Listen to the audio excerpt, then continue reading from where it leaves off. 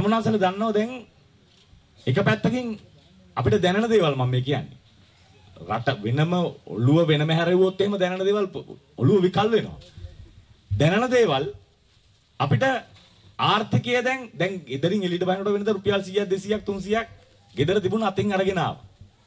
ඒක ගේන්න අපේ ආර්ථිකය ගේ වටේ හැදලා තිබුණා. ගොරක ටික, ගම්බිරිස් ටික, පුවක් ටික, කරුංක ටික මේ ටික ඔක්කොම තිබුණා. ඒකට හොඳ මිලක් තිබුණා. ඉස්සර ගම්බිරිස් දෝතක් කරන් ගියාම සතියේ කන්න බරු ටික අරගෙන ආවා. ගම්මිරිස් දෝතය අරගෙන ගියේ. ජපන් කුරුලිත් ඕකටම අරගෙන ආවා. දැන් ගම්මිරිස් කිලෝ එක රුපියල් 450යි. ඔකින් ගන්න පුළුවන් ලූණු කිලෝ එකයි හාල් කිලෝ එකයි විතරයි. දැන් අද පළවෙනිදා. අද ගෙවල් වල කිරිබත් හදන දවස. නේ?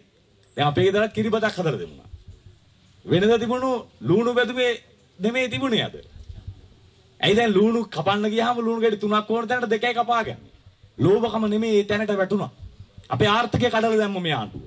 පහුගිය ආණ්ඩුව ආර්ථික විනාශ කළා දැම්ම. ඔය තුරුල් කරගෙන ඉන්න පුංචි දරුවෙකුට ඉස්කෝලේ යන්න විදියක් පහුගිය කාලේ නැති වුණා. ආරක්ෂාව අපේ කඩල බිඳලා දැම්මා. ළමයෙක් ඉස්කෝලේ යන්න තියා අපි පොලේ ගියේ නෑනේ. බෝම්බ හතයි පිපුරුයි. 225ම එපා කියලා කෑ ගැහුවා මිනිස්සු. 225ම. හැබැයි මහින්ද මහත්තයා කාලේ බෝම්බ වැල් පිපුරුවා. බෝම්බ වැල් කවුරුවත් කිව්වේ 225 එපා කියලා. මිනිස්සු වැඳලා කිව්වා පන්සලට ගිහලා බෝධි පූජා තියලා කිව්වා සේනාධි නායකයතුළු රණවිරුව රැකගනිත්වා කියලා.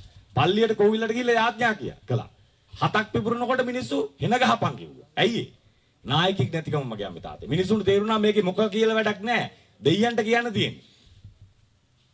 නේ? වසවර්තින විතරයි කියන්න තියෙන කියලා මිනිස්සු තේරුම් ගත්තා. වෙන කියන්න කෙනෙක් හිටියේ නැහැ. කියන්න කෙනෙක් ඉන්න නැති වෙනකොට තමයි මිනිස්සු ඉල්ලුවේ ගෝඨාභය මහත්තයා.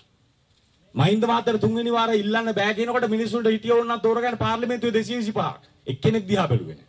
එක්කෙනෙක් දිහා. මිනිස්සු බැලුවේ ගෝඨාභය මහත්තයා ඇස් දෙක දිහා විතරමයි. ඇයි? ගෝඨාභය මහත්තයා ඇස් දෙක ඇතුළේ විතරයි මිනිස්සුන්ට ආරක්ෂාව තිබුණේ. මිනිස්සුන්ට රැකවරණය තියෙනවා කියලා තේරුණේ. මිනිස්සුන්ට අනාගතය දැක්ක ඒක ඇතුළේ විතරයි. ඒකට හේතුවක් තිබ්බ මගේ අම්මේ තාත්තේ පිස්සු නටන බොරු කියන විකාර කරන දේශපාලනඥයෝ අතරේ ගෝඨාභය මහත්තයා තමන්ගේ රාජකාරිය අකුරටම ඉටු කරලා තිබුණා. අකුරටම. මහින්ද මහත්තයා 2005 දින්නේ ඡන්ද 28000යි. 28000ක් දිනලා ගත්තේ ලොකුම අභියෝගය. මොකක්ද කිව්වේ? මම යුද්ධය අතුගාලා දානවා කිව්වා. සමහරව ඒවල මොන ඉදලෙන්ද කියලා. අවුරුදු 3මාරය ගිය යුද්ධ ඉවර කළා. ඒක පැවරුවේ ගෝඨාභය මහත්තයට. ගෝඨාභය මහත්තයා ඒ වගකීම අකුරටම ඉෂ්ට කළා. අකුරටම. අකුරටම ඉෂ්ට කළා දෙවනි වර මහින්ද මහත්තයා ලක්ෂ 18කින් දින්න. ලක්ෂ 18යි. ලක්ෂ 18කින් මහින්ද මහත්තයා දින්න දෙවනි වර ගෝඨාභය මහත්තයා මහින්ද මහත්තයා පැවරුවේ සංවර්ධනය. රට එක්සේසත් කළා. ඊට පස්සේ කිව්ව සංවර්ධනේ ලස්සන නගර හදලා පෙන්නන්න කියලා. කොළඹ විතරක් නෙමෙයි. උතුරු නැගෙනහිරත් ගෝඨාභය මහත්තයා නගර හැදුවා. අවුරුදු 30 ගාණක් බෝම්බ පුපුරලා විනාශ වෙච්ච මූසල පාලු ගඳ හැදිච්ච භූමියක්. එක අවුරුදු 4න් ගොඩ නැගුවා. වරායවල හැදුවා, ගුවන්තොට පොළවල් හැදුවා, අධිවේගී මාර්ග හැදුවා. සමෘද්ධි සහන ආධාරය දුන්නා, ගොවියට දුන්නා, පෝර සහන ආධාරය දුන්නා, විශ්‍රාමයට හරි විදියට ගෙව්වා. ගමේ පාසලේ මහින්දෝදේ විද්‍යාගාරය හැදුවා. කරන්න තියෙන හැම දෙයක්ම කළා. ලෝකේ ලස්සනම නගර 10 එකක් බවට ගෝඨාභය මහත්තයා කොළඹ නගරය හැදුවා. කොළඹ නගරේ. ඒ හින්දා ගෝඨාභය මහත්තයා මිනිස්සු එල්ලුවා. ආරක්ෂාව නැති වුණා. ඒ හින්දා ගෝඨාභය මහත්තයා එල්ලුවා. තමුන්නාසල දන්නවා අපි නායක හම්තුරු මෙතන ඉන්නවා. මේ රටේ මිනිස්සු හිටියේ නිවන නිවන නිවන් දකින්න තමයි ආසාවෙන් හිටියේ. වෙන මොකවත් තිබෙන්නේ නැහැ. පංචශීලයේ රටක රකපු රටක්. පෘතුගීසි ලංගිදේසි ඉංග්‍රීසි ඇවිල්ලා විනාශ කළා ටික ටික ටික ටික. වෙනස් කළා. වෙනස් කළා වෙනස් කරලා ඉවරලා මගේ අම්මේ තාත්තේ ඔලු වෙනස් කළා සම්පූර්ණයෙන්. ඔලු. නිදහසේ ජීවත් වෙච්ච මිනිස්සු අවුරුදු 440ක් විතර යටත් වෙලා හිටියා. ඊට පස්සේ අවුරුදු 71ක් දැන් ගත වෙනවා නිදහස හම්බ වෙලා. මේ අවුරුදු 71කටත් අවුරුදු 5ක් නිදහසේ මේ රටේ මිනිස්සු හිටියේ නෑ. අවුරුදු 5ක් හිටියේ නෑ. විවිධ විවිධ පරිහානි ආවා. තනසේ බණ්ඩාරනායක මහත්තයා ආවා. එකට නිදහස අරගන්න එකට සටන් කළා ಜಾති ભેද කුල ભેද ආගම් ભેද නැතුව මොකක්ද හේතුවකට දෙකට වුණා මිනිස්සු. පක්ෂ දෙකක් වුණා. ඊට පස්සේ තව තව හැදුනා. එන්න එන්න එන්න වෙන් වුණා වෙන් වුණා රටත් කෑලි කෑලි වලට වෙන් වෙලා ගියා. පිටරටයි මිනිස්සු ඇවිල්ලා අක්කර 10000 ගණක් නිකන් වගේ ගන්නවා. දැන් උන්ට යනවා ලංකා ඉතිහාසයේ දෙන්න යන ලොකුම ඉඩම් ටික ඇමරිකාවට දෙන්න යනවා. ලොකුම ඉඩම් ටික. ලංකා ඉතිහාසයේ දෙන්න යන අඩුම මුදලට දෙන්න යනවා. කිසි වගතුගක් නැහැ. මගේ අම්මේ තාත්තේ ඉස්සර විදේශිකයෙක් ඇවිල්ලා අපේ රටේ සම්පත් කොල්ල කන්න හැදුවොතින් රටයි රජත් එක්ක ගිහිල්ලා රටේ කොඩියක් තරම් සේනාව පෙළ ගහිල්ලා ගිහිල්ලා ඒ සේනාව පළවා හැරලා රටේ කොඩිය ගහලා ජාතිකාභිමානියෙන් ආවා. ජාතිකාභිමානිය. දැන් බලන්නේ රටේ මිනිසුන්ගේ ඇස් වහලා කොයි වෙලාවෙද විදේශිකයට මේ ටික පවරන්නේ කියලා. කොයි වෙලාවෙද කියලා. වරාය විකුණන්න ගියා මිනිස්සු පෝලිං ඇහිලා කිව්වා විකුණන්න එපා වරාය කියලා. විකුණන්න එපා කිව්වා. වරාය විකුණන්න එපා කියලා පෝලිං ඇහිච්ච මිනිස්සුන්ට කඳුළු ගෑස් ගහලා එලවල ඉවරලා චීනෙට වරාය විකුණා. ඩොලර් බිලියන් 1.1යි. මිලියන් 1100යි. ඩොලර් මිලියන් 1100යි. අපේ රටට අවුරුද්දට කිරිපිටි එනවා ඩොලර් මිලියන් 345ක. අවුරුද්දකට ඩොලර් මිලියන් 345ක මේ රටට කිරිපිටි එනවා ආනයනය කරනවා. රටේ හරි නායකයෙක් අවංක නායකයෙක් දැනුමක් තියෙන අවබෝධයක් තියෙන නායකයෙක් හිටියනම් මිනිසුන්ගෙන් අහනවා කිරිපිටි බොන එක අවුරුදු 3කින් නවත්තමුද වරාය විකුණමුද කියලා. අවුරුදු 3ක් කිරිපිටි මේ රටට එන එක නැවතුණා වරාය ඉතුරුයි. හැබැයි නෑ ඇයි? ඒක දෙන්න උනා. දෙන්න උනේ මේ රාජපක්ෂගේ ණය ප්‍රශ්න නෙමෙයි අතේ යටින් ඉන්න කොමිස් මුදල ඊට වඩා මහ දැවැන්ත එකක් වුණා. ඊට වඩා දැවැන්තයි. සුද්ධ මේක දාලා ගියා 48. සුද්ධ දාලා ගියේ ආර්ථික රටනාකම් විතරක් දැනගෙන නෙමෙයි. දෙවනි ලෝක යුද්ධයෙන් පස්සේ දැනගත්තා මේකේ තියෙන ආරක්ෂක වටිනාකමත් සුද්ධ දැනගත්තා. 48 යනකොට. සුද්ධ 48 ගිහිල්ලා නිදහස මෙහෙට දීලා පුවත්පත්වල වාර්තා කළ එංගලන්ත පුවත්පත්වල අපි ආසියාවේ ස්විස්ටර්ලන්තේ අපිට අහිමි වුණා කියලා. ආසියාවේ ස්විස්ටර්ලන්තේ අපිට අහිමි වුණා කියලා සුද්ධ ගිහිල්ලා පත්තරේ ලිව්වේ. දැනගෙන හිටිය මේකේ ආර්ථික හානියටත් වඩා ආර්ථික වාසියටත් වඩා මේකේ තියෙන ආරක්ෂක වටිනාකම් වැඩි කියලා දැනගෙන හිටිය දෙවනි ලෝක යුද්ධයෙන් පස්සේ. පෘතුගීසි මේ රටට එනකොට අලිගහණය 25000ක් මේ රටේ. පෘතුගීසියාව පෘතුගීසිය ලැබුව ලන්දේසියාව ලන්දේසිය ලැබුව ඉංග්‍රීසියාව ඉංග්‍රීසි කාලා 48 නිදහස් දෙනකොට අලි 800යි අලිගහණය අපේ රටේ. 25000ක් අලි හිටියා. සුද්දා ගම්මිරිස් ටික කුරුඳු ටික මේ වගාවන් ටික අරගෙන යනවා වගේම ඇද්දල ජාවාරමත් හොඳටම කරගෙන ගියා. හොඳටම කරගෙන ගියා ඇද්දල ජාවාරම. රටේ තියෙන සම්පත් ටික විතරයි ගෙනියන්න පුළුවන් හැම දෙයක්ම ගෙනිච්චා. ගෙනිච්ච නැත්තම් ගෙනිච්ච සීගිරි පහ පර්වතේ අපිට වටිනාකම තියෙන දේවල් වලින් ඈ ඔය ජයශ්‍රී මහා බෝධින් වහන්සේ දලදා වහන්සේ මේ ටික ගෙනිය ශ්‍රීපාද ස්ථානයේ ගෙනියන්න බැරි වුණා. ගෙනියන්න බැරි වුණා. ගෙනියන්න පුළුවන්කම තිබ්බනම් ওই ටිකත් අනිවාර්යයෙන්ම ගෙනියනවා. මගේ අම්මේ තාත්තේ මේ කරන යටත් විජිත කරන වෙන පැත්තකින් කරගෙන ඇවිල්ලි ඉවරයි. ඒගොල්ලොන්ට ඕන අවශ්‍ය කරන මිනිස්සු ඒ පක්ෂ වලින් පත් කරගෙන ඉවරයි. ඒකයි කරන්නේ ඇස්වහලි වරලා ටක් ගාලා දෙනවා. එහෙම නායකයෝ මොකටද මේ රටට? තව දුරටත් එහෙම නායකයෝ මත අපේ ජීවිත බර පටවනවද මේ මිනිසුන්ට? ඒ මිනිසුන්ට අපේ වගකීම දෙනවද? 94 වතාවක් රහස් පොලිසිය දැනුම් දෙනවා බෝම්බ ගහන්න ඉන්නවා කියලා 94 වතාවක්. මගේ අම්මේ තාත්තේ 94 වතාවක් බෝම්බ ගහන්න දෙනකොට 94 වතාවක්. පණිවිඩ එනවා 94 වතාවක්. 94 වතාවක් එක වතාවක් මේක හරියට ක්‍රියාත්මක කරන්නේ නැහැ. 94 වතාවක් දැනුම් දීලත් බෝම්බ ගහලා මිනිස්සු මරන්න ඉඩ දෙනකොට තමුන්නාසල විශ්වාස කරන්න මේ රටේ නායකයන්ට තිබිච්ච අරමුණ මොකක්ද? මට මතකයි 2016 අවුරුදු එක්තරා දවසක අග්‍රාමාත්‍ය රනිල් වික්‍රමසිංහ මහත්තයා පාර්ලිමේන්තුවේදී කියනවා ආර්ථික සැලැස්ම ඉදිරිපත් කරන වෙලාවේ ඉදිරියේදී IS IS ප්‍රහාර ඉදිරියේදී වැඩි වෙන්න පුළුවන් ඒ වැඩි වෙන්න පුළුවන් දේවත් බලලා තමයි අපේ ආර්ථිකයේ පිළිබඳ තීන්දුව ගන්න වෙන්නේ කියලා. පාර්ලිමේන්තුවේදී හැන්සාට් වල තියෙනවා මම දවසක පාර්ලිමේන්තුවේ අනාගතයේ දවසක ඉදිරිපත් කරනවා. මේ සියලු දේවල් දැනගෙන හිටියාද කියන සැකය අපිට තියෙනවා.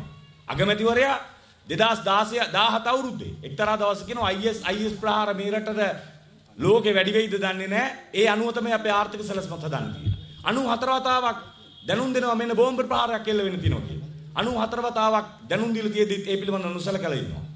ඒ පිළිබඳව හිටපු හමුදාපතිවරයා දැන් ඉන්නවා. එතුමා ඡන්ද ඉල්ලන්න ඇවිල්ලා. ඒ සම්බන්ධ විට පොලිස්පතිවරයා දැන් බන්ධනාගාරගත වෙනවා. ආරක්ෂක ලේකම්වරයා බන්ධනාගාරගත වෙනවා. හැබැයි මේකට නායකත්වය දුන්න මිනිස්සු ටික තාම මේ රටේ පාලකයෝ වෙලා ඉන්නවා. කාටද මේක කියන්නේ? කියන්න කෙනෙක් නැහැ. අපිට යමක් කියන්න පුළුවන් නායකයෙක් හදාගන්න ඕන. නායකයෙක්ට වෙන්න ඕන මගේ අම්මේ තාත්තේ තමන්ගේ දේ කියන්න කලින් නායකයට දැනෙන්න ඕන මෙන්න අවශ්‍යතාවය කියලා. බටන් එකක් ඔබන්න ඕනේ නැහැ. බටන් ඔබන්න ඕනේ නැහැ. මිනිහගේ පපුව තේරෙනකොට නායකයට තේරෙන්න ඕන ආ මිනිස්සුන්ට ඕනේ මේක කියලා තේරෙන්න ඕන. මේ රටේ ඉන්නේ අවුරුද්දකට ලක්ෂ දෙකමාර කම්මල ගැප් ගන්නවා. ලක්ෂ දෙකමාර. ඒ රටේ නායකයෙකුගේ වගකීම වෙන්න ඕන ඒ ලක්ෂ දෙකමාර රැක ගැනීම ආරක්ෂාව සැපීම පෝෂණය සැපීම. නායකයෙකුගේ වගකීම වෙන්න ඕන. ඒ මේ ලෝකෙට එළිය දකින දරුවන් ලක්ෂ දෙකමාරට අනාගතයක් හදන්නත් ඒ නායකයා දැක්මක් තියෙන්න ඕන. අධ්‍යාපනය විතරක් නෙමේ ඒ අධ්‍යාපනයත් හරි මගට යොමු කරන්න ඕන. හරි අධ්‍යාපනයක්. ඒකට උන නායකයෙක් හදාගන්න ඕන. අපිට පේන්න තියෙන කාරණාව තමයි මේ මැතිවරණයේදී අපේක්ෂක 35ක් ඉදිරිපත් වෙනවා. අපේක්ෂක 35ක්. සමහරු විවිධ විවිධ දේවල් කියනවා. මගේ අම්මේ තාත්තේ එකයි අපිට තියෙන්නේ එක්කෝ දැකලා තේරුම් ගන්න ඕන. සමහර දේවල් අපිට දැකලා ප්‍රත්‍යක්ෂ කරගන්න පුළුවන්. සමහර ඒවා අහලා තේරුම් ගන්න පුළුවන්. කවුරු හරි කෙනෙක් කිව්වහම ආ ඇත්ත ඔව් ඒක තමයි. අහලා තේරුම් ගන්න පුළුවන්. දැකලා තේරුම් ගන්න පුළුවන්. අහලා තේරුම් ගන්න පුළුවන්. බලලා ක්‍රියාකාරීත්වය ඒ තුල ඉඳලා තේරුම් ගන්න පුළුවන්. මේ ආණ්ඩුව කොයි විදිහට බැලුවා? මේ ආණ්ඩුව ගැන ඇහුවත්, මේ ආණ්ඩුව දිහා බැලුවත්, මේ ආණ්ඩුවත් එක්ක මේ අවුරුදු හතරමාර ජීවත් වෙලත් අපිට එකක් පැහැදිලි. මේ රටේ මිනිස්සුන්ට මේ ආණ්ඩුව ආදරේ නැහැ. මේ රටේ මිනිස්සුන්ට ආදරේ නැහැ. ඒ මිනිස්සුන්ට මේ රටේ මිනිස්සුන්ට ආදරය කරන්න ඕනේ නැහැ. ඕනේ නැහැ. ඒ මිනිස්සුන්ට ප්‍රශ්න වලට උත්තර දෙන්න ඕනේ නැහැ. වෘත්තිකයෝ ඇවිල්ලා මේ රටට එක්ට එපා කියලා කිව්වට පස්සේ සිංගප්පූරු කිවිසුම එපා කියලා කිව්වට පස්සේ වෘත්තිකයට ගහන්න ගත්තා. වෘත්තිකයට ගහන්න ගත්තා. ඒ වෘත්තිකය ඊට පස්සේ හරි නායකයෙක් මේ රටට හදන්න ඕනේ කියන පිළට පෙළ ගැහුණට පස්සේ ඒ පිළට එතකොට ඒ කණ්ඩායමට අපහාස කරන්න පටන් ගන්නවා. අපහාස. සමහර වෙලාවට කියනවා ජාතිවාදියෝ කියනවා. සමහර වෙලාවට කියනවා කුක්කෝ කියනවා. සමහර වෙලාවට කියනවා වහල්ලු කියනවා. මගේ අම්මේ තාත්තේ වහලෙක් කුක්කෙක් මොකෙක් වුණත් කමක් නැහැ. රටට ආදරය කරන පිළි. රටට ආදරය කරන පිළි. ඉස්සර මිනිස්සු කිව්වේ නේද? ඉස්සර මිනිසුන්ගේ තිබුණේ මොනවද ඉතින්? රැකුණොත් රට සමය වෙති නේ මේ රට සමය දිහා බලන්න බැරි නම් පුතේ උඹ වැඩක් නැහැ කියලා කිව්වේ. එහෙම වැඩක් නැහැ. දැන් මේ නොවැම්බර් 2 වෙනිදාට කැප්පෙටි පොළ වීරයා හිටද අවුරුදු 201යි බෝගම්බර පිටියේදී බෙල්ල කපලා දාලා. බෙල්ල කපලා දාලා. පළවෙනි කඩුපාර ගහනවා පළවෙනි කඩුපාරට බෙල්ල කැපෙන්නේ නැහැ. ඊට පස්සේ වදකය කරන්නේ අතුල්වල කපන්න යනවා. අතුල්වල කපනකොට කැප්පෙටි පොළ වීරයා කියනවා හැරිලා ගහලම කපපන් කියලා. දෙවනි කඩුපාරෙන් තමයි බෙල්ල යන්නේ. මේ මහ පොළොව වෙනුවෙන් දුක් විඳපු වීරයෝ අතීතයේ ඉඳලා හිටියා. ඒ මිනිස්සු රැක්ක භූමිය තමයි මේ තියෙන්නේ. මේ ජාතිය මේ මිනිස්සු රැක්කා. ඒ ජාතිය රැකපු ජාතිය දැන් දෙපිලකට තුන්පලකට බෙදිලා මේ රට විකුණමින් මේ රට විනාශ කරමින් ජීවත් වෙනවා. කොහේටද කාටද කියලා තීරුම් කරන්න. ඉස්සර 1918 කැරල්ල වෙලාවේ මුළු උඩ රටම උඩ රට ගැබිනි අම්ම කෙනෙක් හිටියනම් කැති ගෑවා. වැඩි හිටිය කැති ගෑවා ළමයා කැති ගෑවා. හරක බාන පණ තියෙන සදෙක් හිටියනම් කැති ගෑවා. ගෙඩි හැදෙන ගහකොළ කැති ගෑවා. කැති ගෑලා එක දෙයක් කිව්වා. යටත් එයල් අපිට කිව්වා.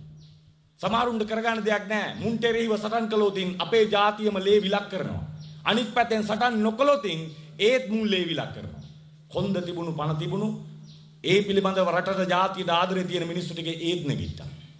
අවසාන ඉරණමුනේ බෙල්ල ද්‍රෝහින් වුණා. පහුගිය කාලේ ඒ වීරයන්ට හූනෝ කිය හූනන්ගේ නම් දැන්. නේ අමතුමා? නේ අපේ අම හූනන්ගේ නම් දැන්. එතකොට මගේ අම්මේ තාත්තේ ඇත්ත සත්තු මුන්ද ඒ වීරයෝ. රට වෙනුවෙන් ඇත්ත ජීවිතේ පුදු මිනිස්සුද ඇත්ත වීරයෝ මේ හූනොන්ගේ නම් දාපු මේ වීරයෝ මේ මේ නායකයෝද ඇත්ත හූනෝ. ඉතිහාසයේ ලියවේවි ඒ කවුද කියලා හරි පැත්තට. අපිට තියෙන එක ජාතික වගකීමක් ඒ වගකීම වෙන මොකවද්ද මේ මේ මොහොතේ මේ රට වෙනස් කළේ නැත්නම් ආයෙ වෙනස් කරන්න අපිට අවස්ථාවක් එන්නේ නැහැ. මේ හැදිච්ච මහා ජාතික බලවේගය පෝෂණය කරන්න අපිට බැරි නම් ඒකට එකක් එකක් එකතු කරලා මේකට ජීවය දෙන්න අපිට බැරි නම් මේක ආයෙ හරවන්න තැනක් එන්නේ නැහැ. ඒ නිසා මගේ ආදරණීය අම්මේ තාත්තේ තමුන්නාසලා සියලු දෙනාවේ මේ මහ පොළොවට අති සුජාත පුත්‍රයෙක් හදන්න. අති සුජාත පුත්‍රයෙක් හදන්න. ඒ පුත්‍රයා මේ රටේ මිනිසුන්ට ආදරය කරන මේ රටේ මිනිස්සු ජීවය දෙන ආගමට ආදරය කරන ඒ ආගමත් එක්ක ජීවත් වෙන මිනිස්සුන්ට ජීවත් වෙන තියෙන රටට ආදරය කරන ඒ රටේ සමස්තයක් විදිහට ගත්තම රට මගේ කියලා හිතන්න පුළුවන් නායකයෙකු මේ මොහොතේ අපිට ඕන. ඒ නායකය හදන්නේ තමුන්නාසෙලාවේ. ඒක කරන්න මගේ අම්මේ තාත්තේ වින්නබු කර වින්නබුකම කරන්නේ මෙයාගේ. හොඳ වින්නබුකම්ම කෙනෙක් ඕන හොඳ දරුවෙක් බිහි කරන්න. වින්නබුකම්ම කෙනෙක් නැතුව බිහි වුණොත් අපිට හිතා ගන්න බෑ මොකක්ද තියෙන අසනීපේ මොකක්ද උනේ කියලා. වැරදි විදියට කළොත් සමහර ලාවට අංග විකල දරුවෝ බිහි වෙන්න පුළුවන්. වැරදි විදියට වින්නබුකම කරොතින් වැරදි විදියට නේ හැදෙන්න පුළුවන් දරුවා. අතපය ඇඹරෙන්න පුළුවන්. ඒ නිසා නිවැරදිම සුජාත නායකයට වින්නබුකම කරන්නයි තමුන්නාසලා. තමුන්නාසලට වැටහෙවි තමුන්නාසලා නිවැරදිම දේ කළා කියලා නොවැම්බර් මාස 17 වෙනිදා පාන්දර ප්‍රවෘත්ති හද්දී තමුන්නාසලට ඇහිවි ගෝඨාභය රාජපක්ෂට අතිවිශිෂ්ට ජයග්‍රහණයක් වෙන ප්‍රවෘත්තිය උදේ පාන්දර තමුන්නාසලට හම්බෙයි. ඒ විතරක් නෙමෙයි 90 මහින්ද මහත්තයා 97ක් ඉන්නේ. 2015 ජනවාරි 8 වෙනිදා මේ ආණ්ඩුව අරගෙන පුදුම ඉක්මනක් තිබුණේ රට හදන්න. හැන්දෑවේ මොනවාද අත්සංකලේ දිවුරුම් දුන්නේ හැන්දෑවේ පුදුම ඉක්මනක් තිබුණේ මේ තනතුරු බාර ගන්න දෙන්නටම සියලු දෙනා.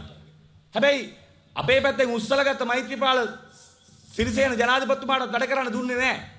උස්සලගත්තේ ඔබතුමා එන්න ඔබතුමා තමයි නායක කියන්න පුළුවන් මේ වෙලාවේ ඔබතුමා ඇවිල්ලා වැඩ කරන්න කියලා උස්සලගත්තා. උස්සලගත්ත කෙනාටවත් වැඩ කරන්න දුන්නේ නැහැ. මෛත්‍රී ජනාධිපතිතුමා පහුගිය කාලේ කිව්වා ළඟ තියාගෙන පොඩි ළමයෙකුට වගේ. මෙහෙම හිටියේ. බාලාංශ ළමයා වගේ. මෙහෙමයි හොරකම් කළේ, මෙහෙමයි දූෂණය කළේ, මෙහෙමයි කළේ කියලා කියනකොට මෙහෙම හිටියා. හැබැයි හෙටත් අගමැති ඒ යාළු සජිත් මහත්තයා.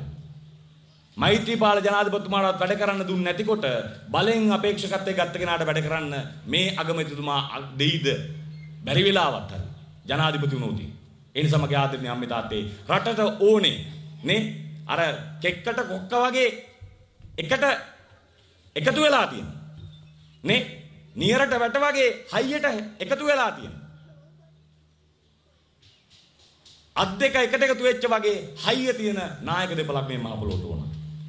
ඒ නායක දෙපළ තමයි ගෝඨාභය මහත්තයා මහින්ද මහත්තයයි. 17 වෙනිදා දවල් වෙනකොට තමුන්නාන්සේලට ආන්න හම්බේ ප්‍රවෘත්ති වලට ගෝඨාභය ජනපති ලෙස දිවුරුම් දෙයි. මහින්ද රාජපක්ෂ අගමැති වෙයි කියන ප්‍රවෘත්තියක් තමුන්නාන්සේලට අහන්න ලැබෙයි. ඒක අහන්න දකින්න තමුන්නාන්සේලට වාසනාව ශක්තිය ධෛර්ය ප්‍රාර්ථනා කරමින් මම නිවෙනවා සියලු ජනතරුවන් මේ වගේ වීඩියෝ දිනපතා නරඹන්න අපේ channel එක subscribe කරන්න